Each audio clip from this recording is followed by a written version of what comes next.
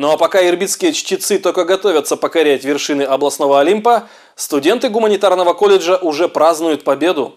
Двое из них оказались в числе призеров, победителей регионального чемпионата «Молодые профессионалы».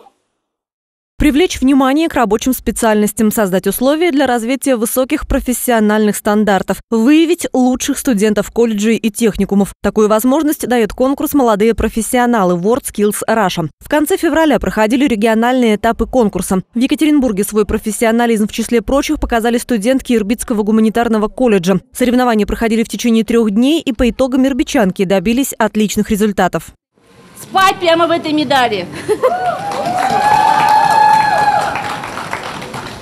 И замечательный, красивый диплом победителя первой степени.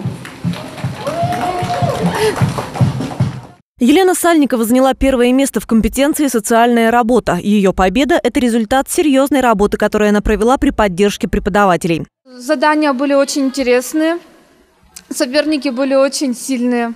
Эмоции, конечно, это переживание, волнение, как представлять представлять колледж, представлять себя.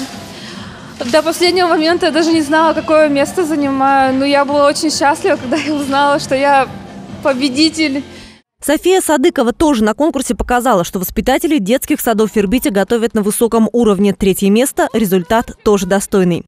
Подготовку я начала на третьем курсе э, по таким заданиям, как проведение виртуальной экскурсии, разработка дидактической игры, разработка занятия по робототехнике, создание информационно-демонстрационного стенда, проведение корректирующей гимнастики после сна и выразительное чтение. Еще одна студентка гуманитарного колледжа Елена Топоркова приняла участие в этих соревнованиях. Она заняла пятое место из десяти возможных. Поздравить коллег по колледжу собрались практически все студенты.